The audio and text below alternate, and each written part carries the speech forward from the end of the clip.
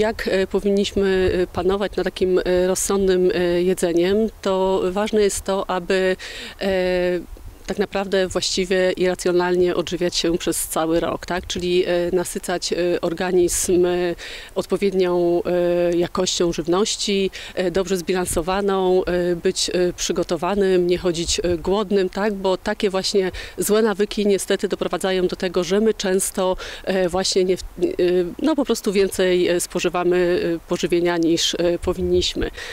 Również istotne jest to, aby sprawdzić swój stan zdrowia, bo może właśnie to, że e, chętnie e, podjadamy albo takie wieczorne podjadanie e, może być spowodowane tym, że na przykład Mamy problemy z gospodarką węglowodanową, z insulinoopornością albo z gospodarką hormonalną na przykład, e, czyli na przykład problemy z tarczycą. Wtedy warto sobie oznaczyć e, tutaj TSH, FT3, FT4. W przypadku insulinooporności to e, trzystopniową insulinę i również glukozę, tak, żeby właśnie sprawdzić, czy te czynniki czasami nie powodują, że my częściej właśnie podjadamy.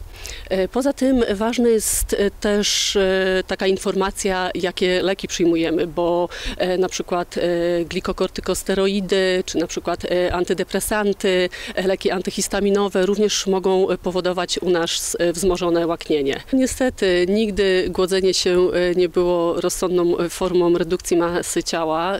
Z reguły zawsze doprowadza do efektu jojo, czyli po prostu waga, masa ciała powraca. Tutaj należy spojrzeć tak naprawdę na cel, który powinien być przede wszystkim realistyczny. Tak?